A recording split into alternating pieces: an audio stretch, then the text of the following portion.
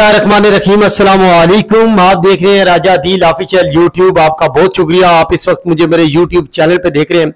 इस वक्त स्क्रीन पे आप मेरे साथ एक मेरे भाई भी नज़र आपको एक भाई नज़र आ रहे हैं। इन्होंने मुझे कहा जी कि मैं कुछ कहना चाहता हूँ महँगाई के हवाले से। आपके ब्लॉग्स जो है तो हम देख रहे हैं।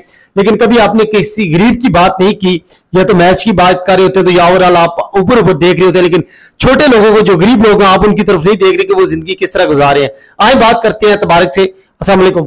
जी वालेकुम सलाम। तबारक ये बताओ कि आप महँगाई के वाले से बात करना चाहते हैं या किस वाले से बात करना चाहते हैं? महँगाई के वाले से बात करना चाहता हूँ। अच्छा ये बताओ कि आप क्या काम क्या करते हैं?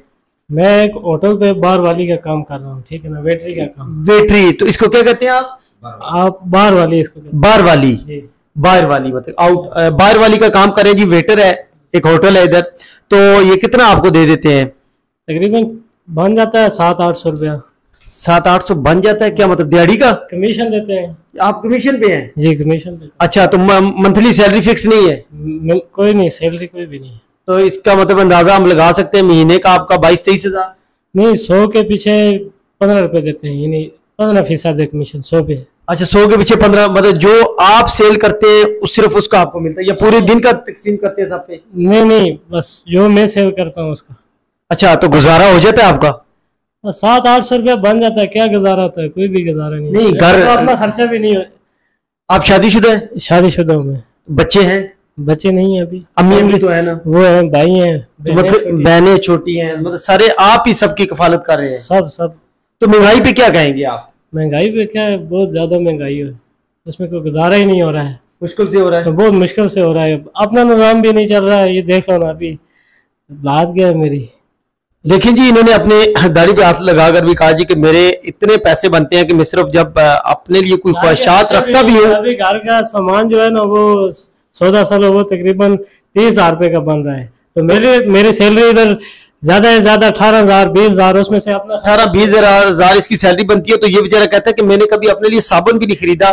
जब भी मैं कोई चीज़ अपने लिए खरीदने की खरीदने का सोचता भी हूँ तो मेरा ख्याल अपने छोटे बहन भाइयों की तरफ़ जाता है और साथ अपनी सैलरी की तरफ़ जाता है। तो महँगाई बहुत ज़्यादा है। क्या कहेंगे हुकूमत को? हुकूमत को कहना ये चाहता हूँ कि कुछ गरीब लोगों का भी ख्याल रखें। उनके बारे में भी सोच लें यार वो क्या कर रहे हैं किस तरह का अगर मेरी वीडियो अ, अगर कोई आप तमाम जितने भी देखने वाले हैं तमाम से अल्तमास भी है कि इस वीडियो को शेयर ज़रूर करें ताकि इस तरह के जो मजबूर गरीब लोग हैं, इनकी आवाज़ हुकाम बाला तक पहुँच सके। हो सकता है कि किसी एक गरीब की आवाज़ वो सुनकर उनको डर लग ही जाए कि यार, बहुत हालात खराब है।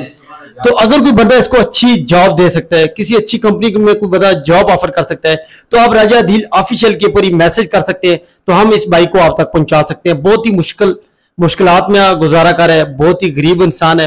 तो आप लोग अगर पैंतीस चालीस हज़ार की किसी के पास भी कोई ऐसी जॉब हो तो जो इसके रिलेटेड हो तो ज़रूर इसको बताइएगा। बहुत शुक्रिया आप तमाम देखने वालों का। अपना और अपने चैनल वालों का रखिएगा ख्याल। मुझे दीजिएगा इजाज़त। अल्लाह हाफिज।